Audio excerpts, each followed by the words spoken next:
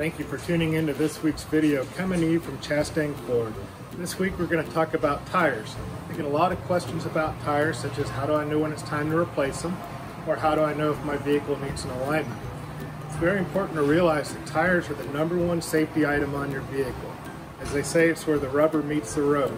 If you don't have good traction between your tires and the pavement, there's an accident waiting to happen, especially if you have rain, snow, or anything of that nature going on.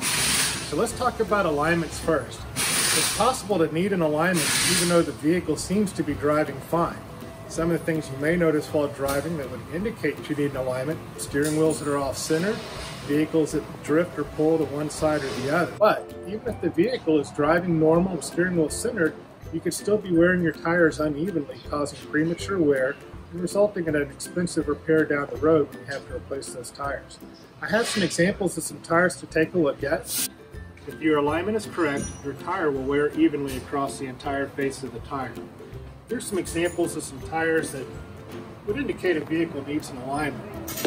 This particular tire is wearing on the outside edges. This is an extreme case, so you can see the cord is starting to show through the outside edge of the tire. On the inside edge, it's worn so far that even the steel belts are now visible. And obviously this tire is not a safe tire to be driving on. Here's another example, not quite as extreme. To the eye, this tire may actually look just fine, but if you look at it coming down this way, you'll see that this side is actually wearing more than this side is. You can see the, the corner wearing down on this side of the tire. You can also, maybe hard to see in the camera, but you can see these high and low spots, which would also indicate that this tire is basically crab walking as it goes down the road and that is wearing this tire prematurely on this edge of the tire.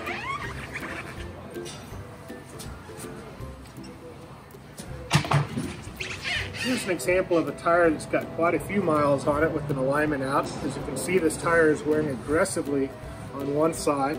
It's actually already worn down to the point where we have steel belt coming through the tire. At this point, this tire is no good. It's not safe and has to be replaced. Ideally, you want to catch these issues before they get to this point so that you can save the money of having to buy tires prematurely. Thanks for tuning into this week's video. If you have any questions about tires, don't hesitate to give us a call or come on by to Chastang Ford. We'll be happy to help you with any of your questions or tire needs. We do stock all the name brand tires for your Ford vehicle. We'll be more than happy to help you out. Thanks and check in next week for our new video.